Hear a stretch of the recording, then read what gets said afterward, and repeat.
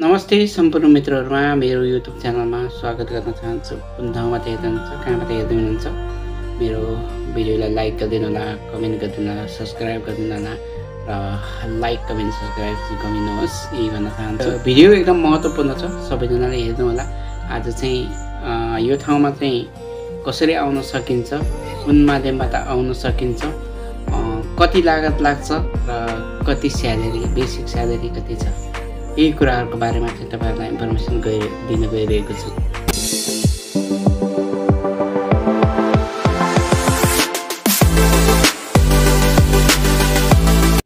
अनि तपाईँहरू कहाँ हुनुहुन्छ कुन ठाउँमा हुनुहुन्छ नेपालमा हुनुहुन्छ अथवा अरू कुनै देशहरूमा हुनुहुन्छ होइन?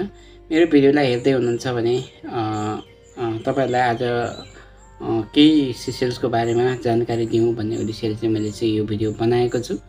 सेसेल्स चाहिँ एउटा प्राकृतिक दृष्टिकोणले एकदम रमणीय ठाउँ हो। यो एउटा टुरिज्म देश हो र यो चाहिँ एउटा सानो आइल्यान्ड हो। यहाँको हावापानी सधैँभरि एकै नाचको रहिरहन्छ। एउटा गर्मी पनि होइन जाडो पनि होइन।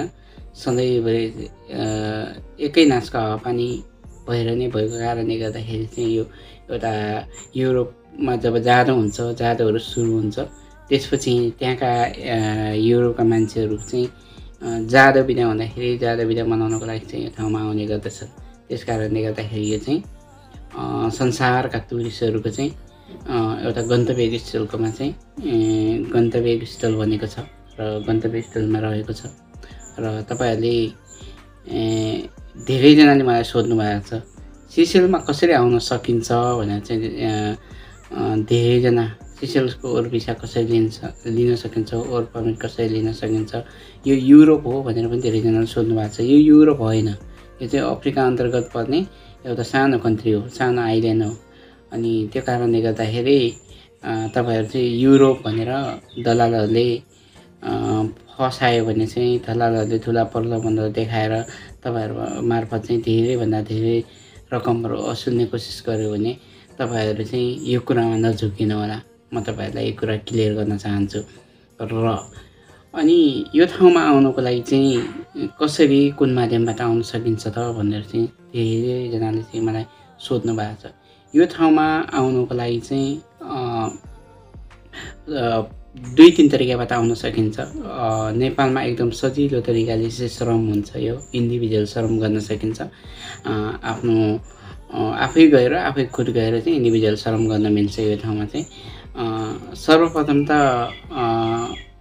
पहिलो नम्बरमा चाहिँ अब तपाईँहरूसँग स्किल छ आइटी टेक्नोलोजी सेक्टरमा काम गर्नुहुन्छ ठुला ठुला होटेलहरूमा सेभ गर्नुहुन्छ एजुकेटिभ सेभहरू गर्नुहुन्छ बेकरी सेभहरू गर्नुहुन्छ बारिस्ताहरू गर्न सक्नुहुन्छ अकाउन्टेन्ट म्यानेजरहरू गर्न सक्नुहुन्छ।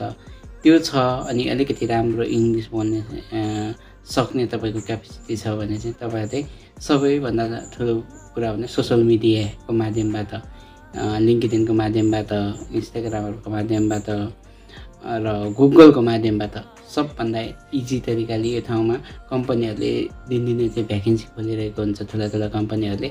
त्यो कम्पनीहरूमा चाहिँ डाइरेक्टली आफ्नो सिभी पठाएर क्लियर रूपमा आफ्नो जिमेल आफ्नो वाट्सएप नम्बर आफ्नो एक्सपिरियन्स सबै कुराहरू खुलाएर एउटा आकर्षक तरिकाको चाहिँ एउटा सिभी बनाएर तपाईँहरूले चाहिँ कम्पनीमा पठाउन सक्नुहुन्छ। त्यसपछि तपाईँको सिभी सिलेक्ट हुन्छ। सिभी सिलेक्ट भइसकेपछि तपाईँले वाट्सएपको माध्यमबाट इमेलको माध्यमबाट तपाईँहरूलाई सम्पर्क गर्छ तपाईँहरूको इन्टरभ्यू लिन्छ।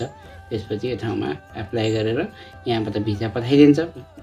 तपाईँले नेपालबाट पहिलो कुरा चाहिँ मेडिकल पठाउनु पर्ने हुन्छ। सेलेक्ट भइसकेपछि सेलेक्ट भइसकेपछि मेडिकल पठाइसकेपछि दुई तिन महिना एक डेढ महिनामा होइन? चाहिँ यहाँको जिओपी भिजा आउँछ।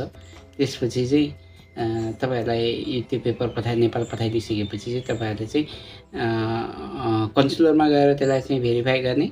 नेपाल यहाँ सिसिएलको एउटा कन्सुलर छ नेपालमा।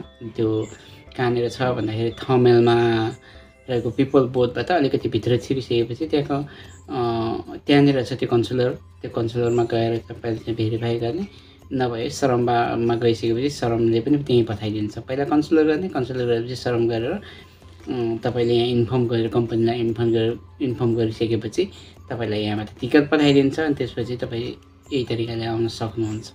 अनि अर्को तरिका चाहिँ कस्तो छ भन्दाखेरि तपाईँ कोही आफन्त छ कोही चिनजानको मान्छे छ उहाँहरूले तपाईँलाई अफर गर्नुभयो कतै काम कसैले खोजिरहेको छ भने तपाईँलाई यो टाइपको मान्छे चाहिन्छ है स्किल भएको मान्छे चाहिँ हामीलाई चाहिएको छ भनेर यहाँको कम्पनीहरूले भनेको खण्डमा तपाईँलाई आफ्नो साथीभाइको माध्यम आफन्तको माध्यम चिनजानको माध्यमबाट पनि यो ठाउँमा आउन सक्नुहुन्छ।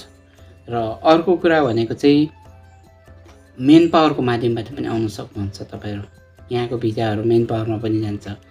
कति कुन कुन मेन पावरमा जान्छ त्यो चाहिँ थाहा छैन होइन? मेन पावरको माध्यमबाट पनि यही तिन तरिकाबाट चाहिँ तपाईँले यो ठाउँमा आउन सक्नुहुन्छ। र अर्को कुरा चाहिँ धेरैभन्दा धेरैजना साथीहरूले सोध्नु भएको प्रश्न चाहिँ के छ भन्दाखेरि अब यहाँका एजेन्ट दले दलाल यो या हो गर्नेहरूले चाहिँ अब तलब एक लाखभन्दा माथि हुन्छ यस्तो हुन्छ उस्तो हुन्छ यहाँ हुँ भन्ने तरिकाले धेरैजनालाई चाहिँ फसाएर तिन चार लाख रुपियाँ उठाएको देखिन्छ अहिले अधिकांश। प्लिज सबैजनाले यो कुरा बुझिदिनु होला। तपाईँहरूले दलालहरूलाई एक पैसा पनि लाग्दैन यो ठाउँमा आउनुको लागि। दलालहरूलाई अत्याधिक पैसा नदिनु होला नफस्नु होला। तलबको पर्व प्रलोभनमा यति धेरै कमाइ हुन्छ यो हुन्छ त्यो हुन्छ। यस्तो लोभ लाजमा परेर चाहिँ तपाईँहरूले दलाललाई पैसा नदिनु होला। पैसाबाट यहाँबाट चाहिँ मान्छे ल्याइरहनु भएको छ उहाँहरूलाई पनि म चाहिँ के सजेसन गर्न चाहन्छु भने त्यसरी चाहिँ पैसा नउठाइदिनु होला। प्लिज मेरो विनम्र अनुरोध छ यो। चाहिँ कसैले पनि यो कामहरू चाहिँ नगरिदिनु होला र तपाईँहरूलाई थाहा छैन होला।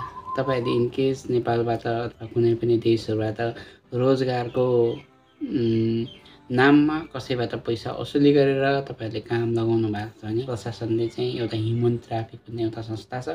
पुलिस फोर्स त्यसले चाहिँ मानव बेचबिखनको अन्तर्गतको मुद्दा लगाएर कति वर्षसम्म दुई तिन वर्ष जेल कति वर्ष जेल छ र कति हजारदेखि जरिमाना छ त्यो गरेर चाहिँ कारबार चाहिँ सबैजनालाई चाहिँ जानकारी रहोस् भन्न चाहन्छु। ल्याउनेलाई पनि अनि आउनेलाई पनि।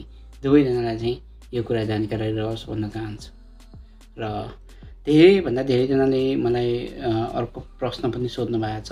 बेसिक तलब कति हुन्छ भने यहाँको बेसिक तलब भनेको चाहिँ सात हजार छ सय रुपियाँ हो। बेसिक भनेको नेपालको पैँसठी छैसठी हजार जति आउनुहुन्छ त्यति नै हो यहाँको बेसिक स्यालेरी भनेको। अनि अर्को कुरा चाहिँ अब तपाईँहरूसँग स्किल छ आफ्नो एक्सपिरियन्स छ तल बार्गेनिङ गरेर आउनु सक्नुहुन्छ भने चाहिँ यसरी पनि आउनु सक्नुहुन्छ तपाईँहरू होइन? अब योभन्दा माथि अब डलरमा हुन्छ यहाँको हिसाबहरू होइन? प्रायः जस्तो अब हजार डलर बाह्र सय डलर पन्ध्र सय डलर यतिसम्म पनि बार्गेनिङ गरेर ठुल्ठुलो पोस्टहरूमा तपाईँहरू आउनु सक्नुहुन्छ। र इङ्ग्लिस चाहिँ अलिकति राम्रो बोल्नुपर्ने हुन्छ तपाईँहरू। अनि यहाँको बेसिक स्यालेरी भनेको चाहिँ सात हजार छ सय भनेको पाँच सय डलर हो। पाँच सय डलरको तपाईँहरू आफै क्यालकुलेसन गरेर हेर्न साठी पैँसठी पैँसठी छैसठी हजारको हाराहारीमा आउन आउँछ। र अर्को कुरा चाहिँ यहाँ चाहिँ भिजाको पैसा अरू देशहरूमा साउदी कता दुबई मलेसियामा चाहिँ भिजाको पैसा लाग्दैन। यहाँ चाहिँ स्यालेरीबाट पन्ध्र पर्सेन्ट चाहिँ यहाँ भिजाको पैसा लाग्छ। भिजा चार्जको जिओपी चार्ज भन्छ होइन? पन्ध्र पर्सेन्ट पन्ध्र पर्सेन्ट भनेको लगभग चौ तपाईँहरूको सात हजार पाँच सय स्यालेरी सात हजार पाँच सय स्यालेरी छ भने लगभग बा चौध बाह्र चौध सय रुपियाँ चाहिँ लगभग तपाईँहरूको यहाँको गभर्मेन्टले काट्छ हरेक महिना काटिन्छ यो कुरा चाहिँ तपाईँहरूलाई जानकारी रहोस्।